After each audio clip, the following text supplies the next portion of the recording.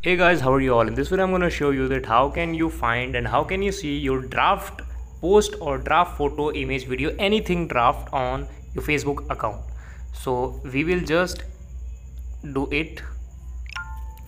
Yes you can see there is an option called uh, move to trash. I will just move it trash. And now it's a trash. Then how can we find this?